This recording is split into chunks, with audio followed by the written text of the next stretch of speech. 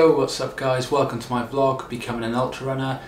This week is all about elevation, this is my steep week and the goal is to get 2000 meters of elevation over the next 7 days.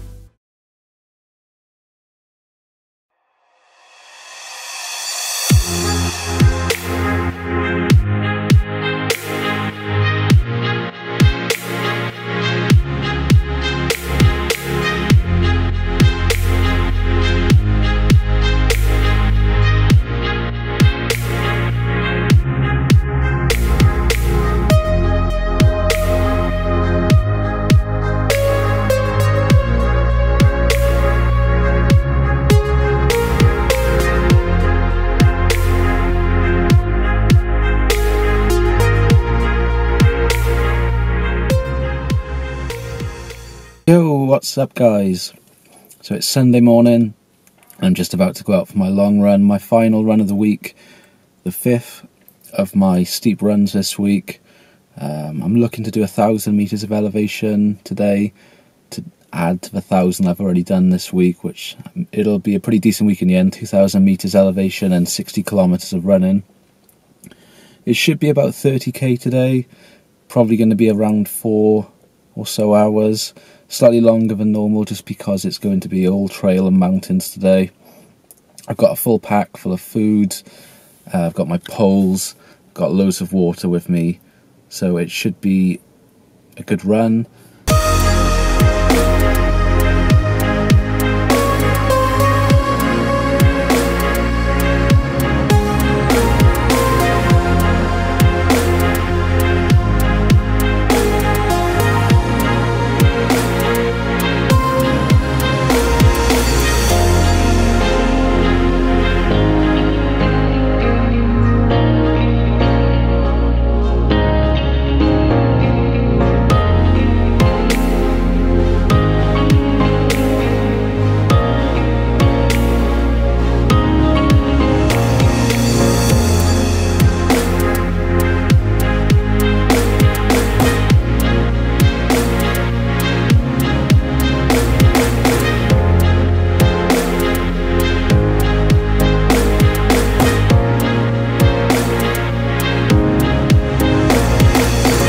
Yo, what's up guys? So that's the last run of the week completed and it was a tough one.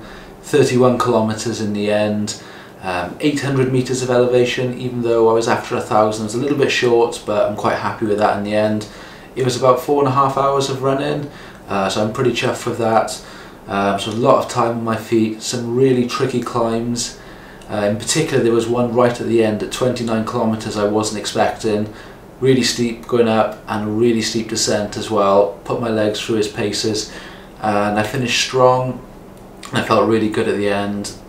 Um, so that was quite a big week. It was a 60k week.